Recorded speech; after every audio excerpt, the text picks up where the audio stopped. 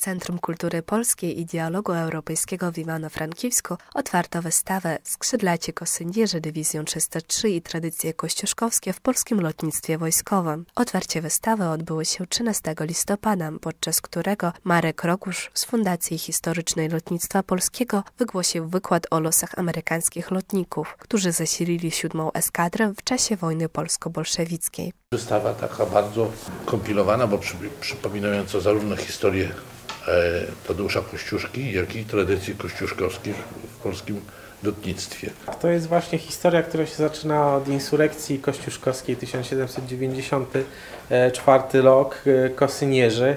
E, potem jakby wraca to do Stanów Zjednoczonych, e, pojawia się postać Mariana Coopera, powstała grupa lotników amerykańskich, którzy stworzyli to właśnie godło kościuszkowskie, łączące w sobie flagę Stanów Zjednoczonych i czapkę krakowską i kosy, symbol kosynierów. Wystawa została otwarta jako ostatnie z wydarzeń towarzyszących Stanisławowskiej edycji przeglądu najnowszych filmów polskich. Przede wszystkim my przedstawiamy ogólnie historię, e, całą historię polskiego lotnictwa.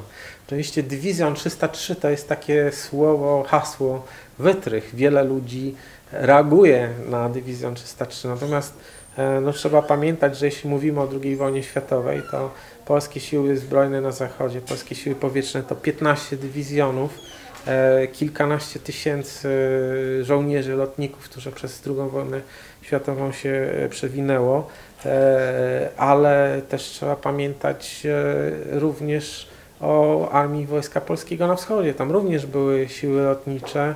E, oni również e, walczyli, wierzyli, że, że walczą e, o wolność Polski. Znaczy my nie chcemy rozróżniać na tę historię dobrą czy złą.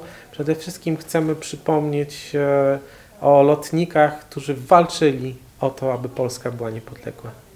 Nigdy nie interesowała się także lotnictwem polskim. Już teraz będę się interesować więcej i jeszcze oglądać filmy bardzo ciekawe. Organizatorem siódmego przeglądu najnowszych filmów polskich w Stanisławowie jest konsulat generalny RP w Lwowie we współpracy z Centrum Kultury Polskiej i Dialogu Europejskiego w Iwano-Frankiwsku.